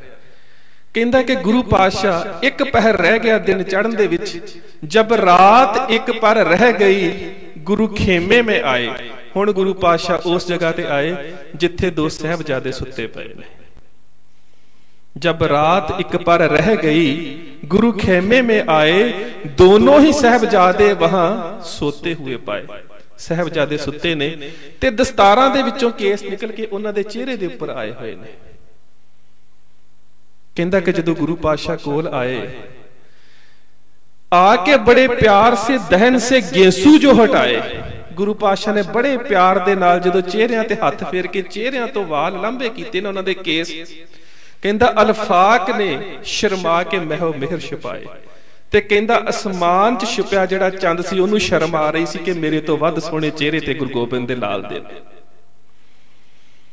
ਕਹਿੰਦਾ ਪਾਸ ਆ ਕੇ ਸਤਗੁਰ ਨੇ, ਜਬ ਦਹਿਨ ਪੇ ਪਾਕ ਦਹਨ ਜੋ ਰੱਖਾ, ਕਮਲਾ ਕੇ ਹਰ ਫੂਲ ਦੇ ਸਰਜ਼ਮੀ ਪੇ ਰੱਖਾ। ਕਹਿੰਦਾ ਜਦੋਂ ਗੁਰੂ ਪਾਤਸ਼ਾਹ ਨੇ ਆਪਣੇ ਬੱਚਿਆਂ ਦੇ ਚਿਹਰਿਆਂ ਨੂੰ ਚੁੰਮਿਆ ਨਾ, ਤੇ ਫੁੱਲਾਂ ਨੇ ਆਪਣੇ ਚਿਹਰੇ ਜ਼ਮੀਨ ਦੇ ਉੱਪਰ ਰੱਖ ਲਏ। ਵੇਖਿਆ ਨਹੀਂ ਸੀ ਜਾ ਰਿਹਾ। ਇਹਨਾਂ ਦਰਦ ਭਰਿਆ ਕਵੀ ਅਲਾ ਯਾਰ ਖਾਨ ਜੋਗੀ ਨੇ। ਕਹਿੰਦਾ, ਗੁਰੂ ਪਾਤਸ਼ਾਹ, ਬੱਚਿਆਂ ਨੂੰ ਪਿਆਰ ਕਰਦੇ ਰਹੇ ਔਰ ਸਾਰੀ ਰਾਤ ਸਵੇਰ ਦੇ ਹੋਣ ਵਾਲੇ ਜੁੱਧ ਦੇ ਬਾਰੇ ਸੋਚਦੇ ਰਹੇ। ਇੱਥੇ ਆ ਕੇ ਕਵੀ ਅਲਾ ਯਾਰ ਖਾ ਕਹਿੰਦਾ ਕਹਿੰਦਾ, ਦੁਨੀਆ ਦੇ ਲੋਕੋ ਕੁਰਦਾਰ ਕੀ ਸੁਗੰਧ ਹੈ, ਨਾਨਕ ਕੀ ਕਸਮ ਹੈ, ਜਿਤਨੀ ਵੀ ਹੋ ਤਾਰੀਖ ਉਹ ਗੁਰੂ ਗੋਬਿੰਦ ਕੀ ਕਮ ਹੈ। ਕਹਿੰਦਾ, ਗੁਰੂ ਗੋਬਿੰਦ ਸਿੰਘ ਮਹਾਰਾਜ ਦੇ ਬਾਰੇ ਬਿਆਨ ਨਹੀਂ ਕੀਤਾ ਜਾ ਸਕਦਾ। ਕਹਿੰਦਾ ਜੋ ਗੁਰੂ ਪਾਸ਼ਾ ਨੇ ਕੌਤਕ ਕੀਤੇ ਨੇ, ਉਹਨਾਂ ਦੇ ਬਾਰੇ ਬਿਲਕੁਲ ਬਿਆਨ ਨਹੀਂ ਕੀਤਾ ਜਾ ਸਕਦਾ। ਕਹਿੰਦੇ ਗੁਰਦੇਵ ਪਾਤਸ਼ਾਹ, ਸਹਿਬ ਸ੍ਰੀ ਗੁਰੂ ਗੋਬਿੰਦ ਸਿੰਘ ਮਹਾਰਾਜ ਦੇ ਬਾਰੇ ਲਿਖਦਾ ਕਹਿੰਦਾ, ਜਿਤਨੀ ਵੀ ਕਮਾ ਨੂਰ ਕੀਤੀ ਖੈਂਚੀ ਚਲੀ ਆਤੀ, ਉਤਨੀ ਹੀ ਥੀ ਸਿਆਹੀ ਬੇ ਨੂਰ ਚਲੀ ਆਤੀ। ਕਹਿੰਦਾ ਹੌਲੀ ਹੌਲੀ ਚਾਨਣ ਦੀ ਕਮਾਨ ਖਿੱਚੀ ਜਾਣ ਲੱਗੀ, ਦਿਨ ਦਾ ਚੜਾ ਹੋਣ ਲੱਗਾ। ਔਰ ਕਹਿੰਦਾ, ਗੁਰੂ ਉਸ ਗੜੀ ਦੇ ਵਿੱਚ ਹੈ, ਜਿੱਥੇ ਦੁਨੀਆ ਦਾ ਸਭ ਤੋਂ ਵੱਡਾ ਇਮਤਿਹਾਨ ਹੋਣਾ ਹੈ। ਤੇ ਗੁਰੂ ਪਾਤਸ਼ਾਹ ਉਹਨਾਂ ਸਹਿਬਜ਼ਾਦਿਆਂ ਦੇ ਨਾਲ ਕੁਝ ਖਿਆਲੀ ਗੱਲਾਂ ਕਰ ਰਹੇ ਨੇ ਕਿ ਸਵੇਰ ਹੋਵੇਗੀ, ਤੁਸੀਂ ਮੇਰੇ ਕੋਲ ਨਹੀਂ ਹੋਵੋਗੇ। ਸਵੇਰ ਹੋਵੇਗੀ, ਉਸ ਤੋਂ ਬਾਅਦ ਅਸੀਂ ਨਹੀਂ ਮਿਲਾਂਗੇ। ਉੱਥੇ ਜਾ ਕੇ ਅਲਾਇਆ ਅਰਖਾਂ ਜੋਗੀ ਕਹਿੰਦਾ ਹੈ, ਜਿਹੜੀ ਮੈਂ ਕੱਲ ਤੁਹਾਡੇ ਨਾਲ ਗੱਲ ਸਾਂਝੀ ਕੀਤੀ ਸੀ ਕਿ ਯਾਕੂਬ ਨੇ ਯੂਸਫ ਸੇ ਵਿਛੜਨੇ ਕੋ ਰਲਾਇਆ रुतबा गुरु गोविंद ने नबियों का बढ़ाया कटवा के पिसर चार एक आंसू ना गिराया दंडक में फिरे राम तो सीता थी बगल में उस फखरे जहां हिंद की माता थी बगल में बाकी है कन्हैया तो नहीं इसका पसर है पिसर था सच है गुरु गोविंद का रितबा ही दिगर था कटवा दिए शिश शाम ने गीता को सुनाकर रू फूक दी गोविंद ने औलाद कटाकर ਕਹਿੰਦਾ ਗੁਰੂ ਗੋਬਿੰਦ ਸਿੰਘ ਮਹਾਰਾਜ ਆਪਣੇ ਬੱਚਿਆਂ ਨੂੰ ਸ਼ਹੀਦ ਹੋਣ ਦੇ ਵਾਸਤੇ ਤਿਆਰ ਕਰ ਰਹੇ ਨੇ ਹੁਣ ਖਿਆਲ ਕਰਿਓ। ਉਹ ਕਹਿੰਦਾ ਹੈ ਕਿ ਇਬਰਾਹੀਮ ਨੂੰ ਖੁਦਾ ਦਾ ਹੁਕਮ ਹੋਇਆ, ਆਪਣੇ ਪੁੱਤਰ ਦੀ ਬਲੀ ਦੇ। ਅੱਖਾਂ ਤੇ ਪੱਟੀ ਬੰਨ ਲਈ। ਕਹਿੰਦਾ ਯਾ ਖੁਦਾ ਨਹੀਂ। ਪੁੱਤਰ ਨੂੰ ਆਪਣੀਆਂ ਅੱਖਾਂ ਦੇ ਸਾਹਮਣੇ ਮਰਦੇ ਨਹੀਂ ਵੇਖ ਸਕਦਾ। ਮਨਸੂਰ ਨੂੰ ਸੂਲੀ ਤੇ ਚੜਾਇਆ ਜਾਣ ਲੱਗਾ। ਕਹਿੰਦਾ, ਯਾ ਅੱਲਾ, ਮੈਨੂੰ ਤੇ ਪਤਾ ਹੀ ਨਹੀਂ ਸੀ ਕਿ ਇਸ਼ਕ ਦੀ ਨਮਾਜ਼ ਪੜਨ ਤੋਂ ਪਹਿਲਾਂ ਖੂਨ ਦੇ ਨਾਲ ਉਜ਼ੂ ਕਰਨਾ ਪੈਂਦਾ ਹੈ। ਤਰੀਕੇ ਇਸਲਾਮ ਦੇ ਵਿੱਚ ਅਕਬਰ ਨਜ਼ੀਬਾਬਾਦੀ ਲਿਖਦਾ ਹੈ ਕਿ ਪੈਗੰਬਰ ਸਾਹਿਬ ਦੇ ਛੋਟੇ ਪੁੱਤਰ ਦੀ ਮੌਤ ਹੋ ਗਈ ਤੇ ਮੁਹੰਮਦ ਸਾਹਿਬ ਦੀਆਂ ਅੱਖਾਂ ਜਿਹੜੀਆਂ ਸੀ ਉਹ ਹੰਝੂਆਂ ਦੇ ਨਾਲ ਭਿੱਜ ਗਈਆਂ। ਤੁਸੀਂ ਬਾਈਬਲ ਨੂੰ ਪੜ੍ਹ ਕੇ ਵੇਖੋ ਜਦੋਂ ਜੀਸਸ ਕ੍ਰਾਈਸਟ ਨੂੰ ਕ੍ਰੂਸੀਫਿਕਸ਼ਨ ਦਾ ਹੁਕਮ ਹੁੰਦਾ, ਸਲੀਬ ਤੇ ਚੜਾ ਕੇ ਮੌਤ ਦੇਣ ਦਾ, ਤਾਂ ਇੱਕੋ ਅਰਦਾਸ ਕਰਦਾ, ਕਹਿੰਦਾ ਉਹ god please take away this cup of sorrows from me ਰੱਬਾ ਦੁੱਖਾਂ ਦਾ ਪਿਆਲਾ ਮੇਰੇ ਤੋਂ ਦੂਰ ਲੈ ਜਾ। ਮੌਤ ਦੇ ਸਾਹਮਣੇ ਦੁਨੀਆ ਦੇ ਵੱਡੇ ਤੋਂ ਵੱਡੇ ਪੈਗੰਬਰ ਝੁਕ ਰਹੇ ਨੇ ਤੇ ਇੱਥੇ ਗੁਰਦੇਵ ਪਾਸ਼ਾ ਨੇ, ਜਿਹੜੇ ਆਪਣੇ ਬੱਚਿਆਂ ਨੂੰ ਸਵੇਰੇ ਮੈਦਾਨੇ ਜੰਗ ਦੇ ਵਿੱਚ ਜਾਣ ਲਈ ਤਿਆਰੀ ਕਰ ਰਹੇ ਨੇ। ਬੱਚੇ ਵੀ ਕੈਸੇ ਅਲਾ ਯਾਰ ਖਾਂ ਜੋਗੀ ਕਹਿੰਦਾ ਕਹਿੰਦਾ ਗੁਰੂ ਗੋਬਿੰਦ ਸਿੰਘ ਮਹਾਰਾਜ ਦੇ ਬੱਚਿਆਂ ਦੀ ਚਿਹਰੇ ਦੀ ਤਾਰੀਫ ਜਿਹੜੀ ਹੈ ਨਾ ਉਹ ਕੀਤੀ ਨਹੀਂ ਜਾ ਸਕਦੀ। ਕਹਿੰਦਾ, ਅੱਖਾਂ ਇੰਜ ਸੀ ਪੇਸ਼ੀਨੇ ਪਰ ਨੂਰ ਪਰ ਜਿਉ ਕੇਸ ਥੇ ਕਾਲੇ, ਸੁੰਬਲ ਕਾ ਗਵਾ ਖੋਤ ਹੋ ਦੁਰੀਆ ਕੇ ਕਿਨਾਰੇ। ਕਹਿੰਦਾ ਉਹਨਾਂ ਦੀਆਂ ਅੱਖਾਂ ਇੰਨੀਆਂ ਸੋਹਣੀਆਂ ਸੀ ਪਰਵੱਟੇ ਇੰਨੇ ਸੋਹਣੇ ਸੀ, ਜਿਵੇਂ ਕਿਸੇ ਦਰਿਆ ਦੇ ਕਿਨਾਰੇ ਉੱਪਰ ਬੜੇ ਕੂਲੇ ਜੇ ਘਾਹ ਦਾ ਖੇਤ ਉੱਗਿਆ ਹੋਵੇ। ਕਹਿੰਦਾ ਇੰਨੀ ਸੁੰਦਰਤਾ ਸੀ ਚਿਹਰਿਆਂ ਤੇ। ਉਹਨਾਂ ਬੱਚਿਆਂ ਦੇ ਵਾਸਤੇ ਗੁਰੂ ਪਾਤਸ਼ਾਹ ਸਵੇਰੇ ਮੈਦਾਨੇ ਜੰਗ ਦੀ ਉਸ ਚੋਣ ਕਰਕੇ ਉਸ ਸਥਾਨ ਦੇ ਉੱਪਰ ਆਏ ਨੇ। ਸਵੇਰ ਦਾ ਚੜਾ ਹੋਇਆ। ਗੁਰਦੇਵ ਪਾਤਸ਼ਾਹ ਨੇ ਗੜੀ ਦੇ ਵਿੱਚੋਂ ਪੰਜ ਪੰਜ ਸਿੰਘਾਂ ਦੇ ਜਥੇ ਤੋਰਨੇ ਸ਼ੁਰੂ ਕੀਤੇ। ਸਿੰਘਾਂ ਵੱਲੋਂ ਮੈਦਾਨੇ ਜੰਗ ਦੇ ਵਿੱਚ ਐਸੇ ਜ਼ਹਰ ਵਿਖਾਏ ਗਏ ਕਿ ਦੁਸ਼ਮਣ ਨੂੰ ਭੱਜਦਿਆਂ ਵਾਰ ਨਾ ਲੱਭਾ। ਇੰਨੀ ਕਮਸਾਨ ਦੀ ਲੜਾਈ ਹੋਈ। ਲੋਹੇ ਤੇ ਲੋਹਾ ਖੜਕਦਾ ਰਿਹਾ। ਸਿੰਘ ਮੈਦਾਨੇ ਜੰਗ ਦੇ ਵਿੱਚ ਆਉਂਦੇ ਰਹੇ ਤੇ ਅਨੇਕਾਂ ਹੀ ਦੁਸ਼ਮਣਾਂ ਨੂੰ ਖਤਮ ਕਰਕੇ ਸ਼ਹੀਦ ਹੁੰਦੇ ਰਹੇ। ਪੰਜ ਪੰਜ ਜਥਿਆਂ 'ਚ ਨਿਕਲਦੇ ਨੇ। ਅਖੀਰ ਜਿਹੜੇ ਵੀ ਸਿੰਘ ਪੰਜ ਪੰਜ ਗੜੀ ਤੋਂ ਬਾਹਰ ਆਉਂਦੇ ਨੇ, ਦੁਸ਼ਮਣਾਂ ਨੂੰ ਖਤਮ ਕਰਦੇ ਹੋਏ ਸ਼ਹੀਦ ਹੁੰਦੇ ਨੇ। ਗੜੀ ਦੇ ਵਿੱਚੋਂ ਸਿੰਘਾਂ ਦੇ ਗਿਣਤੀ ਲਗਾਤਾਰ ਘਟਦੀ ਜਾ ਰਹੀ ਹੈ ਔਰ ਚਮਕੌਰ ਦੀ ਗੜੀ ਇੱਕ ਐਸੀ ਗੜੀ ਹੈ ਜਿੱਥੋਂ ਸਭ ਤੋਂ ਵੱਧ ਗੁਰੂ ਗੋਬਿੰਦ ਸਿੰਘ ਮਹਾਰਾਜ ਨੇ ਆਪਣੇ ਤੀਰਾਂ ਦੀ ਵਰਖਾ ਕੀਤੀ। ਆ ਤੁਸੀਂ ਮੰਡੀ ਗੋਬਿੰਦਗੜ੍ਹ ਜਾਂਦੇ ਹੋ ਨਾ? ਉੱਥੇ ਇੱਕ ਗੁਰਦੁਆਰਾ ਬਣਿਆ। ਮੈਂ ਜਦੋਂ ਉੱਥੋਂ ਦੇ ਇਤਿਹਾਸ ਨੂੰ ਪੜਿਆ ਤੇ ਮੈਂ ਬੜਾ ਹੈਰਾਨ ਹੋਇਆ ਕਿ ਗੁਰੂ ਸਵਾਰਿਓ, ਸਾਡੇ ਗੁਰਦੇਵ ਪਾਤਸ਼ਾਹ ਦੀ ਘਾਲਣਾ ਕੀ ਸੀ ਤੇ ਅੱਜ ਅਸੀਂ ਕਿੱਥੇ ਬੈਠੇ ਹਾਂ? ਗੁਰੂ ਪਾਤਸ਼ਾਹ ਨੇ ਚਮਕੌਰ ਦੀ ਗੜੀ ਦੇ ਵਿੱਚ ਇੰਨੇ ਤੀਰ ਚਲਾਏ ਕਿ ਪਾਤਸ਼ਾਹ ਦੇ ਹੱਥ ਜ਼ਖਮੀ ਹੋ ਗਏ।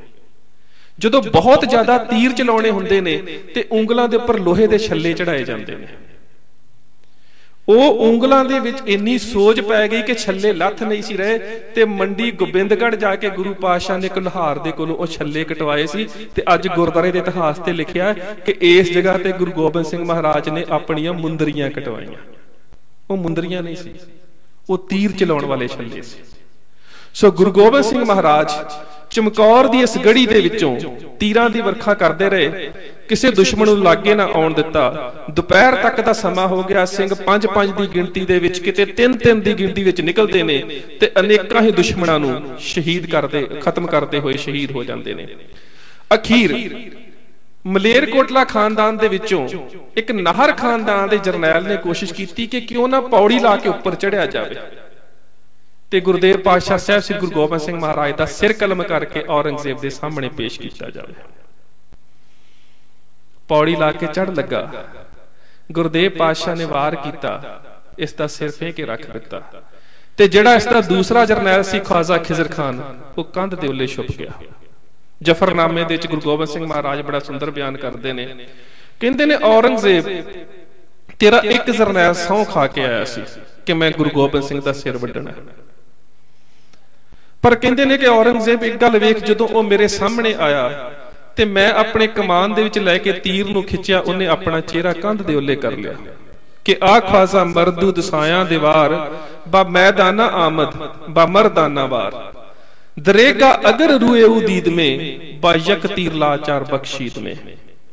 ਕਿਤੇ ਉਹ ਮਰਦਾਂ ਵਾਂਗੂ ਮੇਰੇ ਸਾਹਮਣੇ ਆਉਂਦਾ ਤਾਂ ਮੈਂ ਇੱਕ ਤੀਰ ਉਹਨੂੰ ਵੀ ਬਖਸ਼ ਦਿੰਦਾ। ਹੁਣ ਖਿਆਲ ਕਰਿਓ, ਇਹ ਦੁਨੀਆ ਦੀ ਅਸਾਮੀ ਜੰਗ ਹੋ ਰਹੀ ਹੈ, ਜਿੱਥੇ ਅੰਦਰ ਸਿੰਘਾਂ ਦੀ ਗਿਣਤੀ 40 ਹੈ, ਉਹ ਵੀ 5-5 ਜਾਂ 3-3 ਦੀ ਗਿਣਤੀ ਦੇ ਵਿੱਚ ਬਾਹਰ ਨਿਕਲਦੇ ਨੇ ਤੇ ਸ਼ਹੀਦ ਹੁੰਦੇ ਜਾ ਰਹੇ ਨੇ ਤੇ ਅੰਦਰੋਂ ਗਿਣਤੀ ਘਟਦੀ ਜਾ ਰਹੀ ਹੈ, ਬਾਹਰੋਂ ਫੌਜ ਦੀ ਗਿਣਤੀ ਵੱਧਦੀ ਜਾ ਰਹੀ ਹੈ। ਫੌਜ ਹੋਰ ਆਈ ਜਾ ਰਹੀ ਹੈ। ਗੁਰੂ ਗੋਬਿੰਦ ਸਿੰਘ ਮਹਾਰਾਜ ਜਫਰਨਾਮੇ 'ਚ ਬੜਾ ਸੁੰਦਰ ਲਿਖਦੇ ਨੇ, ਕਿਹਾ ਸ਼ੁੱਧ ਕੇ ਕਾਰੇ ਕੁਨਦ ਚਿਲ ਨਰ, ਬਰ ਦਹ ਲੱਖ ਬਰ ਆਇਦ ਬਰੋ ਬੇਖਬਰ। ਕਹਿੰਦਾ ਔਰੰਗਜ਼ੇਬ, ਇਹ ਕਾਦੀ ਲੜਾਈ ਸੀ ਗੁਰੂ ਪਾਤਸ਼ਾਹ ਕਹਿੰਦੇ? ਕਹਿੰਦੇ 40 ਭੁੱਖੇ ਪਿਆਸੇ ਸਿੰਘਾਂ ਨੂੰ 10 ਲੱਖ ਨੇ ਘੇਰਾ ਪਾ ਲਿਆ, ਪਰ ਕਹਿੰਦੇ ਫੇਰ ਵੀ ਉਹ ਮਰਦ ਸੂਰਮੇ ਮੈਦਾਨੇ ਜੰਗ ਦੇ ਵਿੱਚ ਲੜੇ। ਪਰ ਇਹ ਲੜਾਈ ਅਸਾਮੀ ਸੀ। ਕਿਹਾ ਸ਼ੁੱਧ ਕੇ ਕਾਰੇ ਕੁਨਦ ਚਿਹਲਨਰ ਚਾਰੀ ਬੰਦੇ ਕੀ ਕਰਦੇ? ਬਾਦਹ ਲੱਖ ਬਰ ਆਇਤ ਬਰੋ ਬੇਖਬਰ। ਜਦੋਂ ਉਹਨਾਂ ਭੁੱਖੇ ਪਿਆਸੇ ਬੇਖਬਰ ਸਿੰਘਾਂ ਦੇ ਉੱਪਰ ਤੇਰੀ 10 ਲੱਖ ਫੌਜ ਨੇ ਘੇਰਾ ਪਾ ਲਿਆ।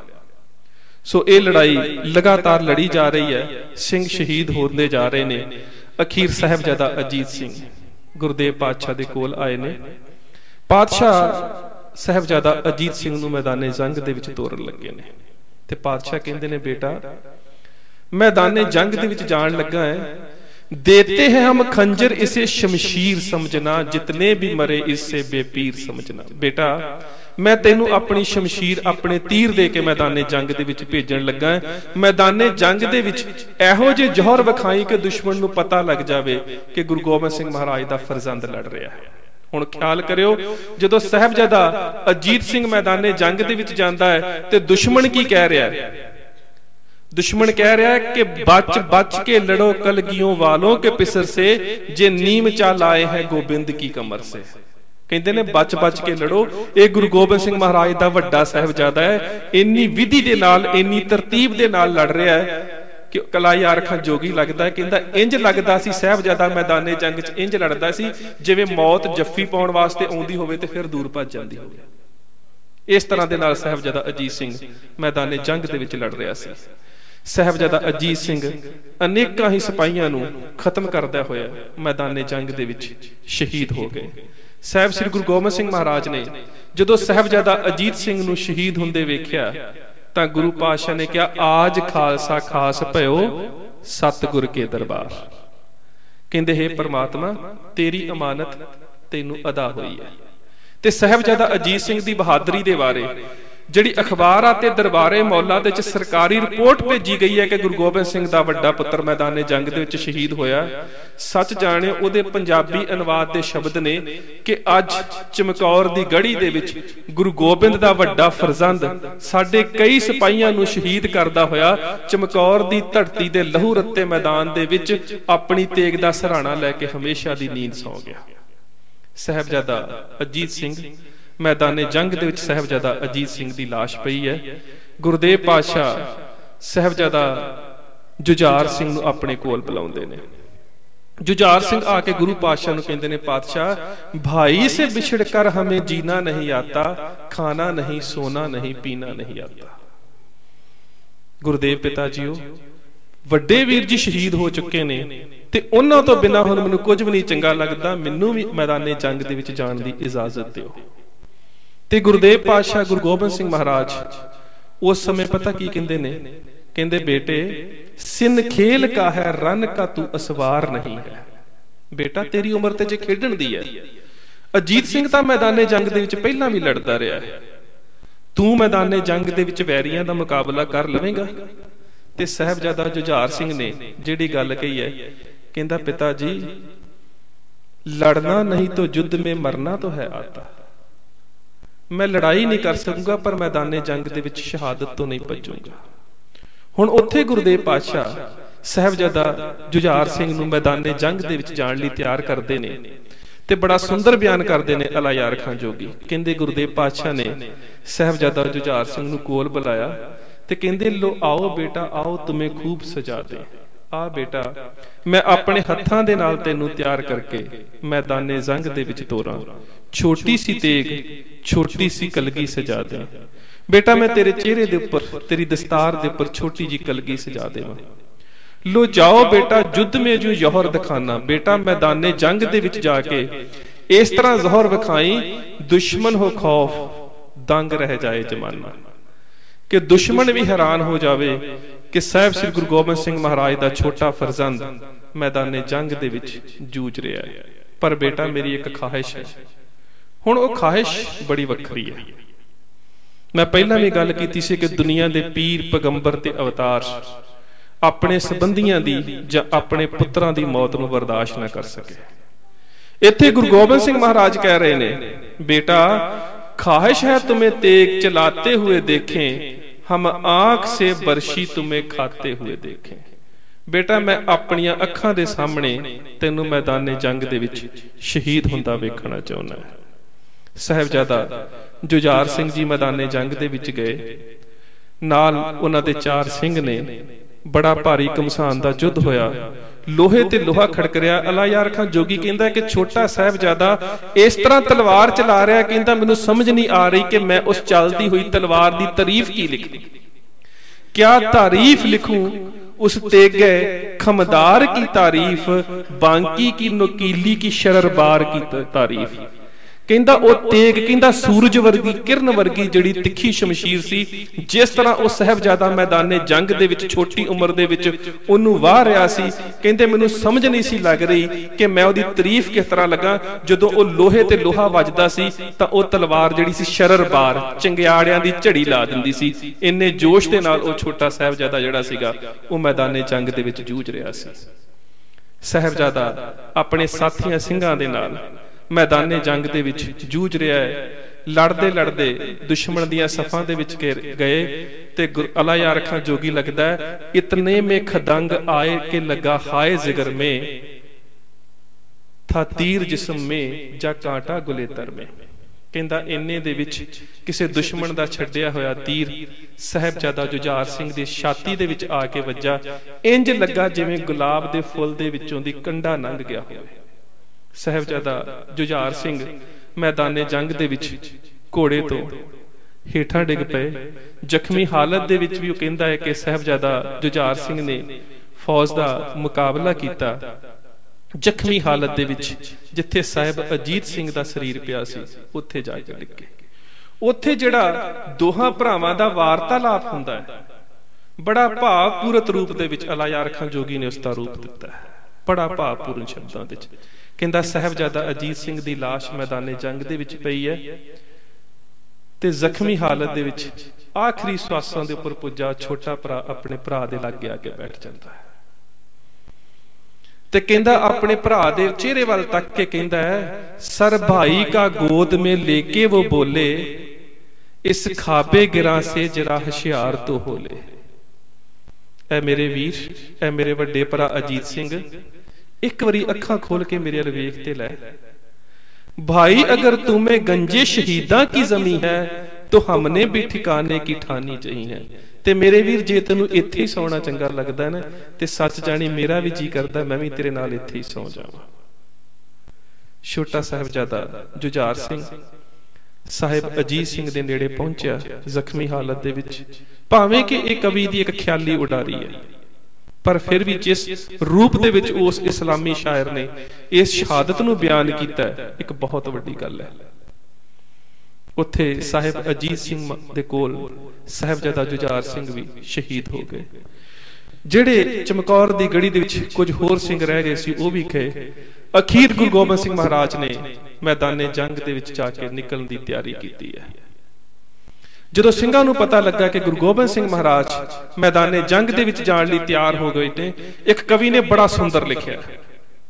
ਕਹਿੰਦਾ, ਆਇਆ ਰੋਹ ਵਿੱਚ ਪੁਤਲਾ ਸਰਬਲੋ ਦਾ ਕਹਿੰਦਾ, ਇੰਨੇ ਰੋਹ ਦੇ ਵਿੱਚ ਗੁਰੂ ਪਾਤਸ਼ਾਹ ਆਏ, ਆਇਆ ਰੋਹ ਵਿੱਚ ਪੁਤਲਾ ਸਰਬਲੋ ਦਾ ਉਹਦੀ ਵੀਰਤਾ ਅਣਖ ਵਿਖਾਉਣ ਲੱਗੀ, ਉਹਦੇ ਤੀਰਾਂ ਉਹਦਿਆਂ ਨੇ ਗਿੱਠ ਗਿੱਠ ਜੀਭ ਕੱਢੀ, ਆਕੜਾ ਉਸ ਦੀ ਲੈਣ ਕਮਾਣ ਲੱਗੀ।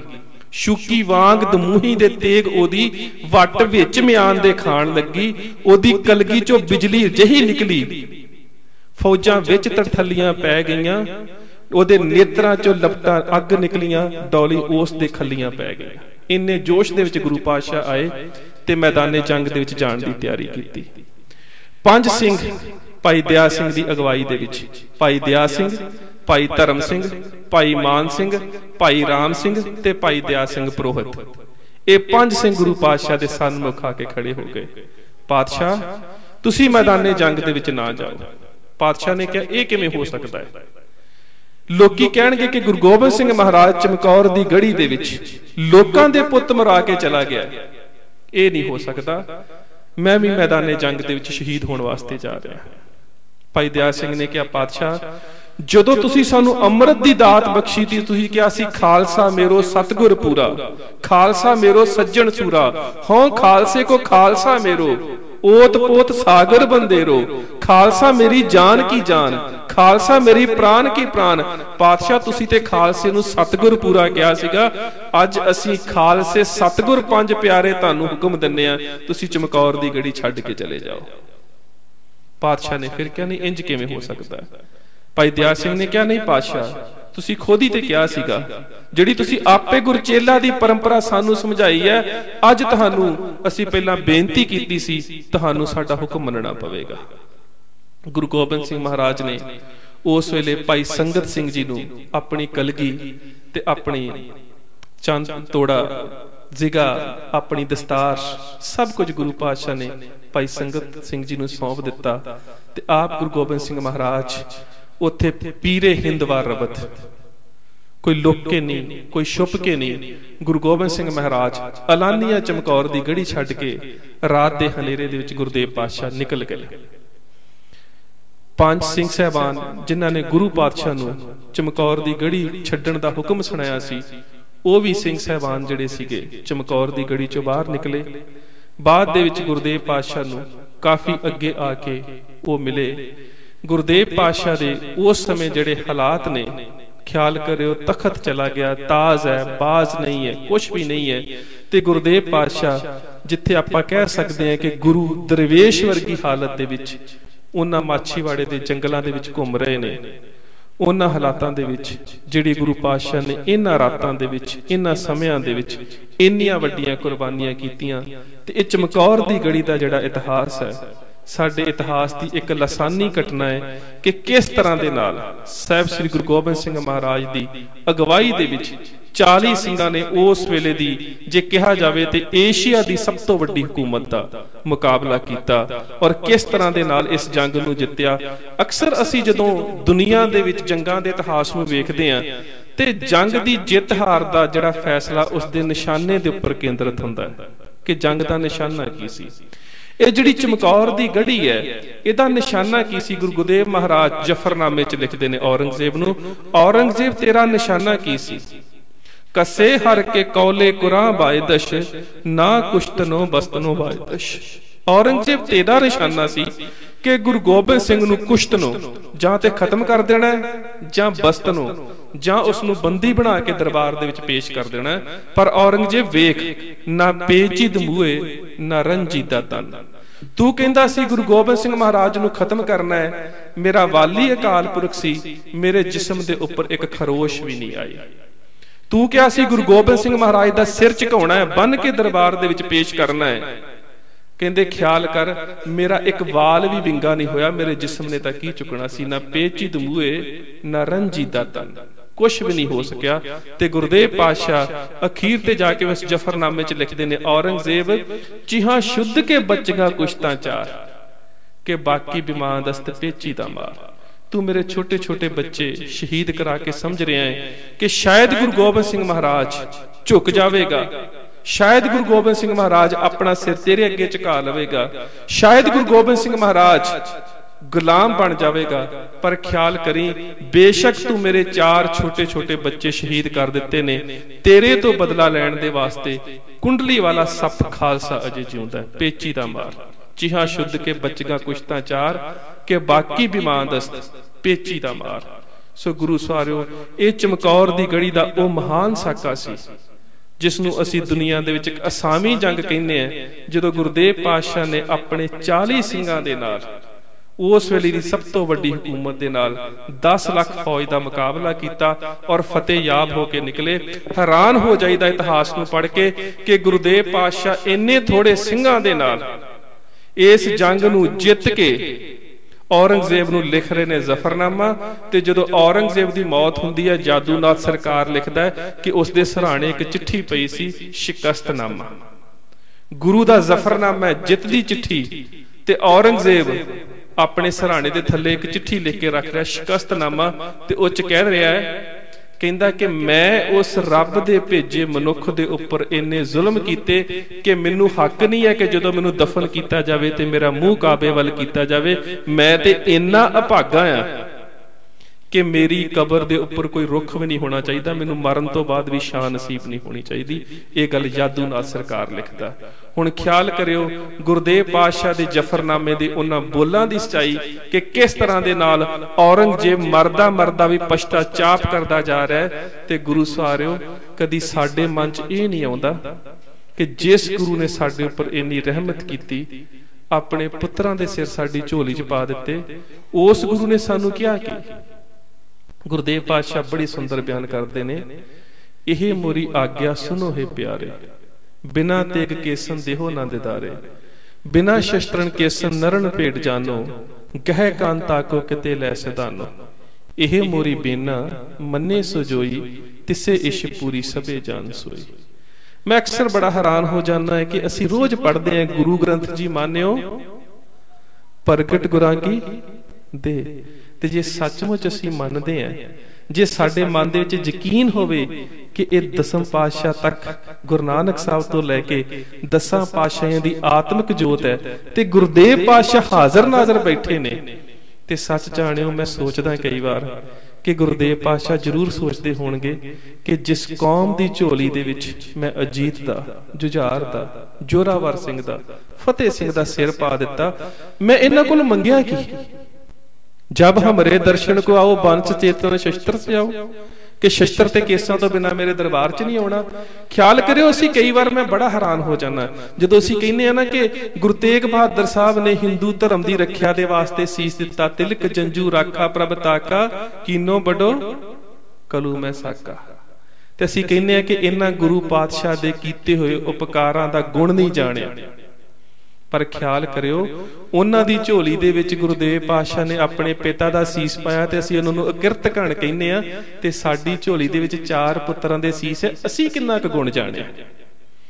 ਗੁਰਦੇਵ ਪਾਤਸ਼ਾਹ ਨੇ ਕਿਹਾ ਤੇ ਇਹੀ ਨਾ ਕਿ ਮੇਰੀਏ ਭੈਣੇ, ਮੇਰੀਏ ਧੀਏ, ਜਦੋਂ ਤੂੰ ਮੇਰੇ ਦਰਬਾਰ ਦੇ ਵਿੱਚੋਂ ਆਵੇਂ, ਮੈਂ ਤੇਰੀ ਝੋਲੀ 'ਚ ਆਪਣੇ ਪੁੱਤਰਾਂ ਦੇ ਸਿਰ ਪਾਏ, ਤੇਰੀ ਉਂਗਲੀ ਦੇ ਨਾਲ ਲੱਗੇ ਹੋਏ ਬੱਚੇ ਦੇ ਚਿਹਰੇ 'ਚੋਂ ਮੈਨੂੰ ਅਜੀਤ ਤੇ ਜੁਝਾਰ ਦਾ ਚਿਹਰਾ ਨਜ਼ਰ ਆਉਣਾ ਚਾਹੀਦਾ ਤੇ ਅੱਜ ਗੁਰੂ ਪਾਤਸ਼ਾਹ ਕੀ ਸੋਚਦੇ ਹੋਣਗੇ? ਸੋ ਗੁਰੂ ਸਵਾਰਿਓ, ਇੱਕ ਮਹਾਨ ਸਾਕਾ ਸੀ। ਇੱਕ ਐਸੀ ਘਟਨਾ ਜੈਸੀ ਘਟਨਾ ਸੰਸਾਰ ਦੇ ਕਿਸੇ ਵੀ ਧਰਮ ਦੇ ਇਤਿਹਾਸ ਦੇ ਵਿੱਚ ਨਹੀਂ ਵਾਪਰੀ। ਸਾਡਾ ਸਾਰਿਆਂ ਦਾ ਫਰਜ਼ ਬਣਦਾ ਹੈ ਕਿ ਉਸ ਗੁਰੂ ਪਾਤਸ਼ਾਹ ਦੀਆਂ ਮਹਾਨ ਕੁਰਬਾਨੀਆਂ, ਇਹਨਾਂ ਮਹਾਨ ਸਾਕਿਆਂ, ਇਹਨਾਂ ਸ਼ਹਾਦਤਾਂ ਨੂੰ ਨਤਮਸਤਕ ਹੋ ਕੇ ਇੰਨਾ ਕੁ ਪ੍ਰਣ ਜ਼ਰੂਰ ਕਰੀਏ ਕਿ ਅਸੀਂ ਆਪਣੇ ਜੀਵਨ ਦੇ ਵਿੱਚ ਗੁਰਸਿੱਖੀ ਜੀਵਨ ਜਾਚ ਨੂੰ ਲੈ ਆਈਏ। ਸੋ ਇਹ ਸਾਕਾ ਚਮਕੌਰ ਸੀ। ਇਸ ਤੋਂ ਬਾਅਦ ਗੁਰਦੇਵ ਪਾਤਸ਼ਾਹ ਦੇ ਨਾਲੋਂ ਵਿਛੜੇ ਹੋਏ ਮਾਤਾ ਗੁਜਰ ਕੌਰ ਜੀ ਔਰ ਛੋਟੇ ਸਹਿਬਜ਼ਾਦੇ ਕਿਸ ਤਰ੍ਹਾਂ ਦੇ ਨਾਲ ਕਿਹੜੇ ਤਸੀਹੇ ਝੱਲਦੇ ਹੋਏ ਉਹ ਸਰਹੰਦ ਤੱਕ ਪਹੁੰਚਦੇ ਨੇ? ਕਿਸ ਤਰ੍ਹਾਂ ਸ਼ਹਾਦਤ ਹੁੰਦੀ ਉਹਨਾਂ ਦੀ ਤੇ ਕਿਸ ਤਰ੍ਹਾਂ ਫਿਰ ਕੌਮ ਦਾ ਜਰਨੈਲ? ਬਾਬਾ ਬੰਦਾ ਸਿੰਘ ਬਹਾਦਰ। ਉਹਨਾਂ ਸ਼ਹਾਦਤਾਂ ਦਾ ਬਦਲਾ ਲੈ ਕੇ ਸਿੱਖ ਰਾਜ ਦੀ ਸਥਾਪਨਾ ਕਰਦਾ ਹੈ। ਉਹ ਸਾਰੀ ਗੱਲ ਅਸੀਂ ਕੱਲ ਤੀਸਰੇ ਲੈਕਚਰ ਦੇ ਵਿੱਚ ਸਾਂਝੀ ਕਰਾਂਗੇ। ਅੱਜ ਅਸੀਂ ਹੀ ਸਾਂਝਾ ਕੀਤਾ ਕਿ ਕਿਸ ਤਰ੍ਹਾਂ ਦੇ ਨਾਲ ਸਰਸਾ ਤੋਂ ਲੈ ਕੇ ਚਮਕੌਰ ਸਾਹਿਬ ਤੱਕ ਕਿਹੜੀਆਂ ਘਟਨਾਵਾਂ ਵਾਪਰੀਆਂ, ਕਿਸ ਤਰ੍ਹਾਂ ਗੁਰੂ ਪਾਤਸ਼ਾਹ ਦੇ ਨਾਲ ਦੇ ਸਿੰਘ ਸੂਰਮੇ ਜਿਹੜੇ ਸੀ ਉਹ ਸ਼ਹੀਦ ਹੋਏ। ਕੱਲ ਅਗਲੀ ਲੜੀ ਨੂੰ ਇਸੇ ਤਰ੍ਹਾਂ ਜਾਰੀ ਰੱਖਾਂਗੇ। ਇੰਨੀਆਂ ਕੁ ਬੇਨਤੀਆਂ ਪ੍ਰਵਾਨ ਫਤਿਹ ਦੀ ਸਾਂਝ, ਕੋਈ ਰਸਨਾ ਵਾਂਝੀ ਨਾ ਰਹੇ। ਗੱਜ ਕੇ ਆਖਿਓ ਜੀ, ਵਾਹਿਗੁਰੂ ਜੀ ਕਾ ਖਾਲਸਾ। ਵਾਹਿਗੁਰੂ ਜੀ ਕੀ ਫਤਿਹ।